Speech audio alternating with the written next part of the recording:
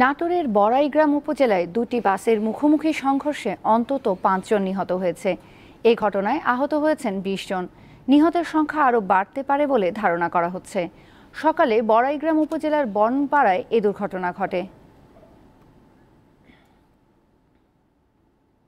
নাটোরের বড়াইগ্রাম উপজেলায় দুটি বাসের মুখোমুখি সংঘর্ষে অন্তত পাঁচজন নিহত হয়েছে। এ ঘটনায় আহত হয়েছেন বিশ জন। নিহতের সংখ্যা আরও বাড়তে পারে বলে ধারণা করা হচ্ছে। সকালে বড়াইগ্রাম উপজেলার বনপাড়ায় এ দুর্ঘটনা ঘটে। নাটোরের বড়াইগ্রাম উপজেলায় দুটি বাসের মুখোমুখি সংঘর্ষে অন্তত পাঁচজন নিহত হয়েছে। এ ঘটনায় আহত হয়েছেন বিশ জন। নিহতের সংখ্যা আরও বাড়তে পারে বলে ধারণা করা হচ্ছে। সকালে বড়াইগ্রাম উপজেলার বনপাড়ায় এ দুর্ঘটনা ঘটে।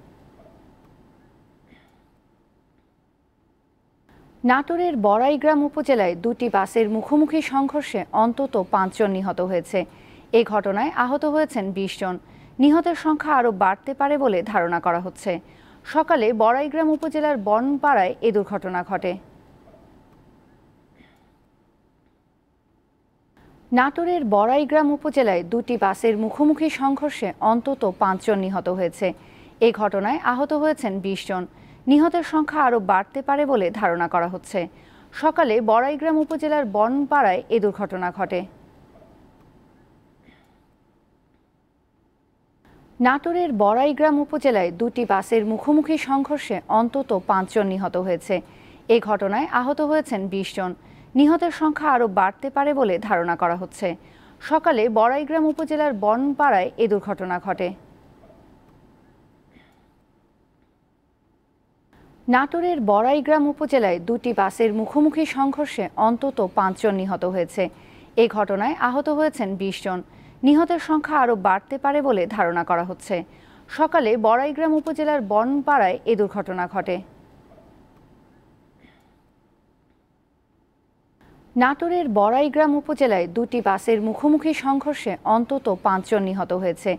এ ঘটনায় আহত হয়েছেন বিশ জন। নিহতের সংখ্যা আরও বাড়তে পারে বলে ধারণা করা হচ্ছে। সকালে বড়াইগ্রাম উপজেলার বনপাড়ায় এ দুর্ঘটনা ঘটে।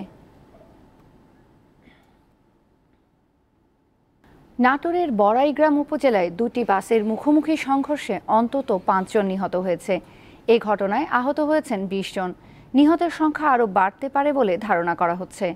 সকালে বড়াইগ্রাম উপজেলার বনপাড়ায় এ দুর্ঘটনা ঘটে।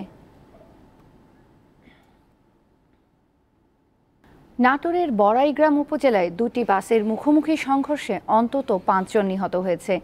এ ঘটনায় আহত হয়েছেন বিশ জন। নিহতের সংখ্যা আরও বাড়তে পারে বলে ধারণা করা হচ্ছে। সকালে বড়াইগ্রাম উপজেলার বনপাড়ায় এ দুর্ঘটনা ঘটে।